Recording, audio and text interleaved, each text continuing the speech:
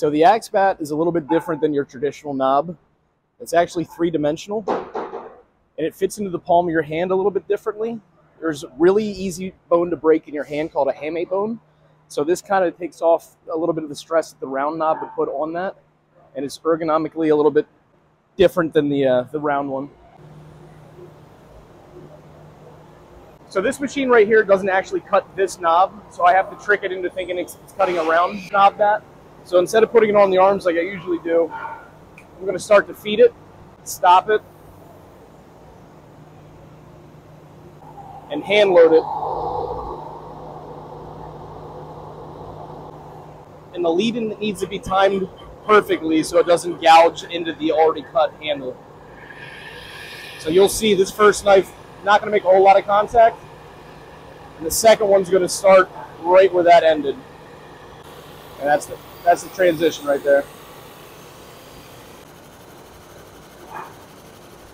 So this bat right here is for Seby Zavala. Who guys a swing axe? Uh, George Springer, Mookie Betts, Jake Cronenworth, uh, Robert Hassell. And he swings a 33 and a half, 32 full cup. Right now it's 32.7. So the full cup's going to take about half an ounce out, and then the top coat that we spray is going to add a half an ounce. So it's right where it needs to be. To spin it, make sure it's straight.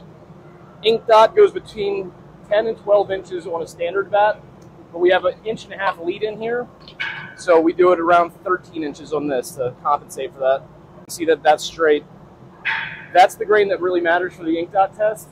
This one you can see with, with the naked eye. It's called the radial grain. It kind of looks like railroad tracks. This is the tangential grain. This is one that MLB and TECO need to be certified.